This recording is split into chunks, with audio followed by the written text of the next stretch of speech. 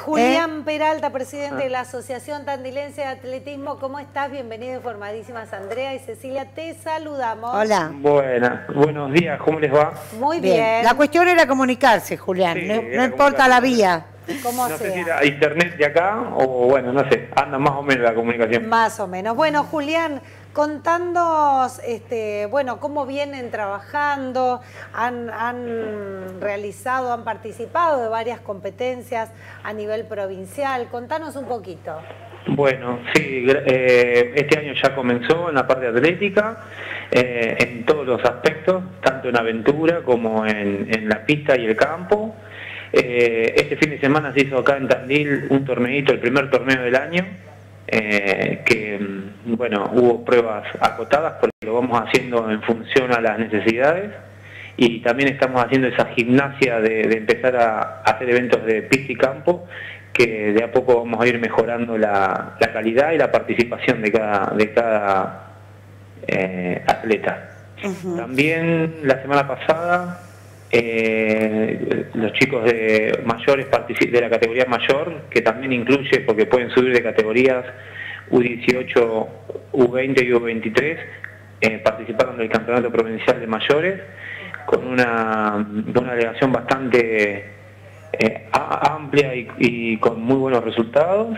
Y este fin de semana, este sábado, eh, empieza el campeonato provincial de la categoría U20, también Ajá. que vamos a participar. Bien, bien. Bien, ¿cuántas categorías eh, forman parte de, bueno, de lo que es la asociación? Y bueno, empiezan en la, en la categoría U12, que agarra chiquitos, de- en realidad empieza desde infantiles, pero la categoría eh, formal empezaría eh, en chicos de 9 y 10 años para, para arriba hasta los 35, porque después empezaría la categoría máster que ya corresponde a- al círculo de atletas veteranos. Bien. ¿Qué cantidad de, de atletas están, bueno, inmersos en lo que es la asociación? Eh, hay, gracias a Dios, está creciendo mucho el número de, de chicos que se están inscribiendo en los clubes para participar.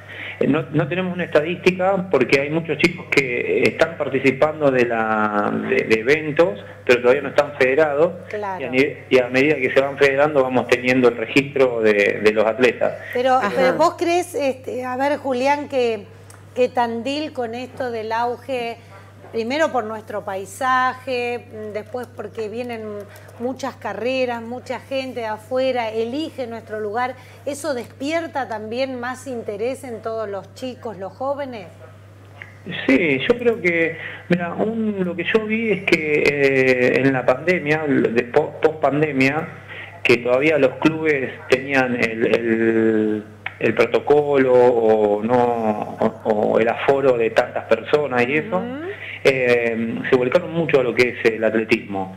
Y el atletismo más formal, no el atletismo de, de calle o el atletismo de aventura, Claro. sino que fueron a los clubes o a, o a donde se practicaba atletismo eh, y empezaron a entrenar y descubrieron un deporte nuevo que muchas veces no estaba tan promocionado y que nosotros como asociación tenemos que intentar hacer que a los chicos les guste. Bien. Y ya, y ya desde chiquito, digamos, con todas las disciplinas del atletismo, ¿con cuál es la que más, más enganchan? Siempre que vienen los chicos dicen quiero ser quiero ser velocista. Siempre Claro. la velocidad Velocista, porque claro. Es la, es la más, no es la más fácil, pero es la más fácil de- para empezar. Pero después también se enganchan mucho con salto en largo, con lanzamientos de pelota de softball, con salto en alto. Son pruebas que eh, la verdad que a los chicos los forman muy bien y son muy entretenidas. Claro, y lo bueno que siempre hay que destacar, como vos bien decías, que después de la pandemia mucha gente concurrió a los clubes.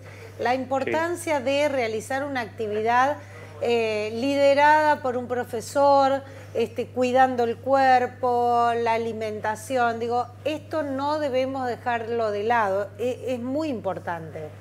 Sí, es muy importante y más en las etapas formativas. Claro. donde los chicos eh, muchas veces también por la pandemia habían pasado dos años sin, sin tener actividad formal, tanto educativa como deportiva, y bueno, hay un retraso en, en la maduración, por decirlo de alguna manera, entonces eh, nada mejor que tener un profe que los guíe y que les vaya diciendo cuáles son los pasos metodológicos para, para hacerlo de la mejor manera posible. Lógico, y más allá también, por supuesto, de, de, la base nutricional, el tema de los controles. Así ustedes tienen este, precisamente un, protocolo para ingresar, ¿hay controles médicos específicos?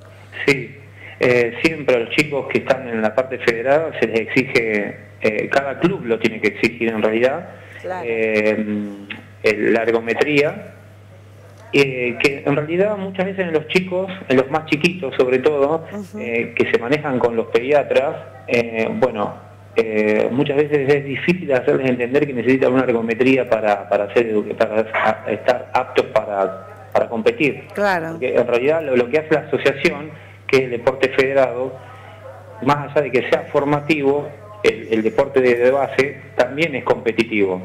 Entonces, nosotros, los profesores que están dentro de la asociación o, los, o de los clubes que están afiliados a la asociación, buscan como el rendimiento de esos chicos, progresivamente, metodológicamente, pero lo que, lo que, buscamos dentro de la asociación es un rendimiento. Con lo cual, sí o sí, tiene que tener el apto médico. Claro. Eh, vamos a recordar a la audiencia que estamos dialogando con Julián Peralta, presidente de la Asociación Tandilense de Atletismo. Eh, estamos hablando de la parte profesional, pero ¿qué pasa también con aquellas personas que, bueno, de manera recreativa o porque quieren un descenso de peso rápido? Digo, ahí también es importante poner el foco y que busquen profesores idóneos porque a veces por esta locura de bajar de peso rápidamente se terminan lastimando las rodillas, la cintura, digo, pasa todo eso. En el mejor de los casos. En el mejor de los casos. Sí, sí. Bueno, tenemos un ejemplo este fin de semana eh, que, ocurrió un hecho trágico en una carrera de aventura.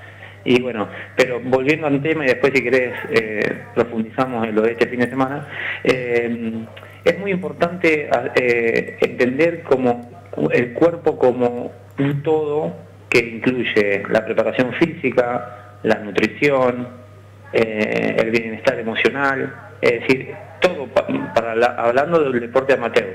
No tenemos que descuidar esas cosas porque en realidad eh, lo que buscamos, lo que busca gente que empieza a ser atleta, por decirlo de una manera, después de los 35, que es el auge, eh, en realidad lo que tiene que buscar es el bienestar y el bienestar incluye todo eso. Después de, estar bien alimentados, bien entrenados, eh, eh, con condiciones para, psicológicas para afrontar una carrera larga, una maratón, la carrera de 27 kilómetros que hice este, este fin de semana, recién una vez que estamos en equilibrio, por decirlo de una manera, tenemos que pensar en competir.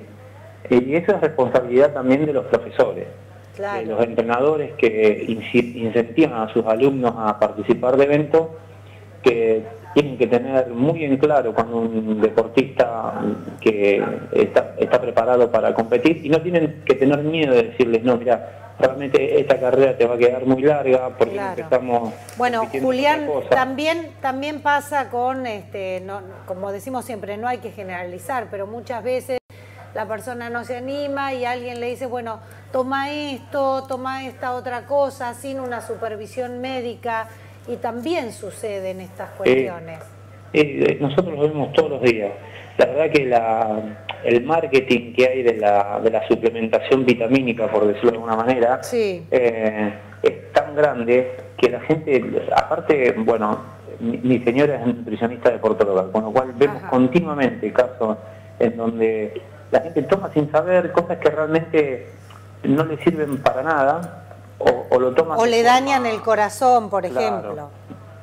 en, el, en, el, en el menor de los casos no le sirve para nada, gastan plata, tiran la plata a la basura, y si no, sí, cuando están tomando cosas que son, por decirlo, no sé, o prohibidas o que no están dentro de la legalidad, eh, bueno, obviamente empiezan a dañarse, ¿no? Claro, bien.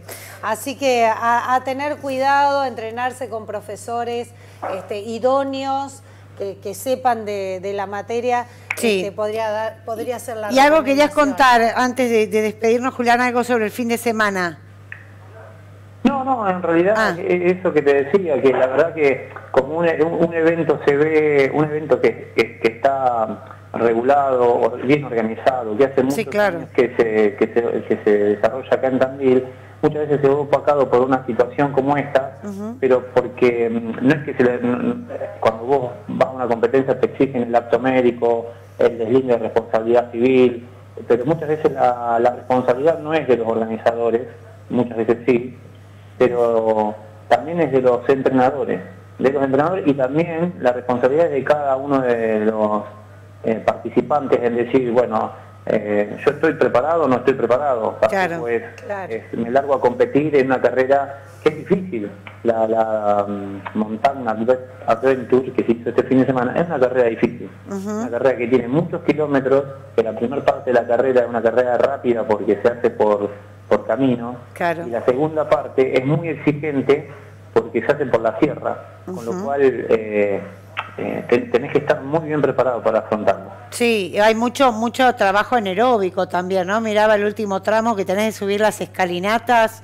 Digo, hay, hay que tener un trabajo eh, a conciencia, lógico. Sí, sí, sí, ahí fisiológicamente el cuerpo va resistiendo una, una carga muy importante de, esfuerzo. El corazón pasa de, de, estar capaz que en bajada a 140 pulsaciones hasta a 200 y pico pulsaciones que no todos los corazones están preparados. Claro, claro. lógico. Eh, bueno, Julián, te agradecemos muchísimo y queda este, en esta nota queda la recomendación para realizar una actividad, este, bueno, hacerlo con profesores adecuados, con todo un contexto que tiene que ver este, con un seguimiento ¿no? médico, de alimentación. Eh, que de eso se trata y saber poner un freno también a veces sí, Aparte, aparte no hay nada mejor que tu, tu propio deportista o tu propio atleta se sienta seguro de que lo que está haciendo eh, es lo correcto y que, y que vos le estás dando la confianza de que va a afrontar una competencia y lo va a poder hacer de la mejor manera posible. Totalmente. Julián, te agradecemos muchísimo por esta comunicación con la radio y Canal del Eco, ha sido muy amable. Bueno, gracias. Eh. Buena jornada. Julián Peralta es el presidente de la Asociación Tandilense de Atletismo, pasó este mediodía por Informadísimas.